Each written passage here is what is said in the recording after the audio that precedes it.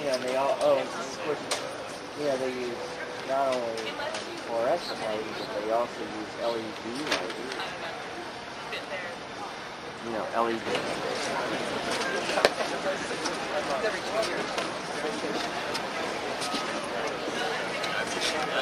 Hi, welcome to the house.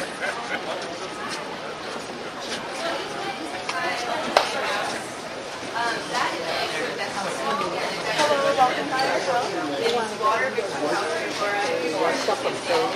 And it sucks air in. And, Works like uh, an air conditioner and it sucks the No, humidity it's out. humidifier. Dehumidifier. yeah, so that the air conditioner doesn't have to work as hard. In this climate, you know, it gets very humid. Yeah. waterfall and So we need convention uh, students.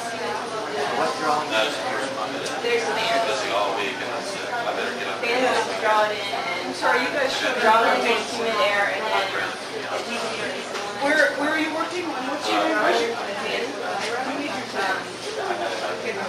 Same amount of energy as a dehumidifier. Yeah, and um, our whole idea throughout the houses you'll see is to reveal things, not to keep things hidden. So for your house.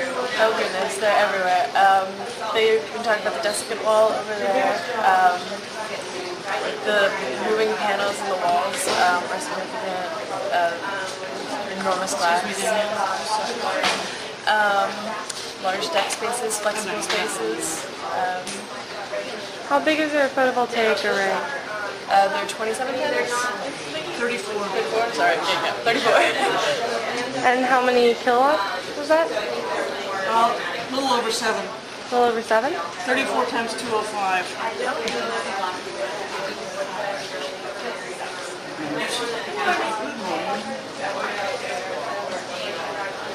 Any questions about the kitchen? No.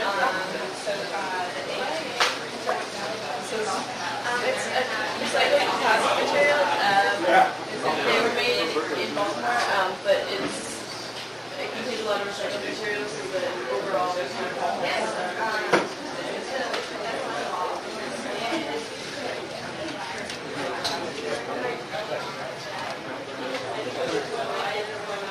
Okay, the shower is in a little room at the end of the house.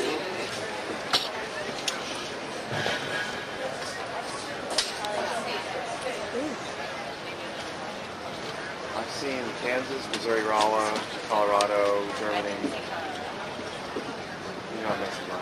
It's the standard solar hot water heater um, with a glycol, uh, 50-50 glycol water mix. Um, this is our uh, manifold for our Warmboard, I'm sorry, for our, um, what do you call it, our radiant floor.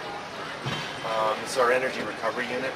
Um, and uh, exchanges fresh air for stale air in the house. Um, also helps a little bit with humidity control. Manifold for domestic hot water and domestic water in the house. So, yeah, that's pretty much it.